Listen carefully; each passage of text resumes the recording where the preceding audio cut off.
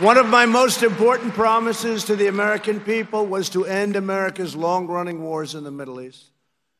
American forces, and we're all warriors, folks, but 19 years, I see the people, I go over and I say hello to those incredible soldiers over at Walter Reed. What talent you have at Walter Reed. Those doctors, by the way, they have to be the best in the world, what they can do.